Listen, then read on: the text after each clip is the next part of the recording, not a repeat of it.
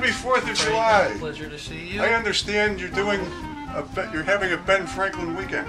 We are indeed inundated with Ben Franklin. Inundated. This is Paul Tackett, our news editor. He's been our Scribus hero of the week, our Ben Franklin man of the week, or man of the month, really, putting together the paper on uh, learning a new software and putting together basically the whole paper. Well, I only have one piece of advice for Ah, let's you.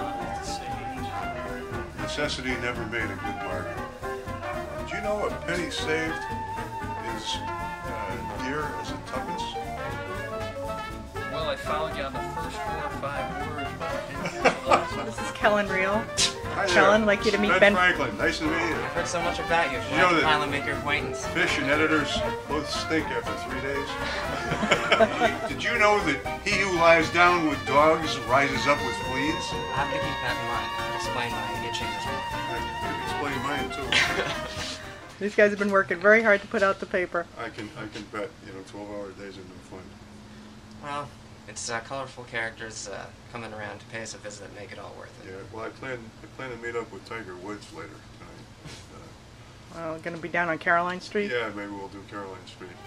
Well, thanks for stopping in on the newsroom on Ben Franklin Day at the Saratogian. My pleasure.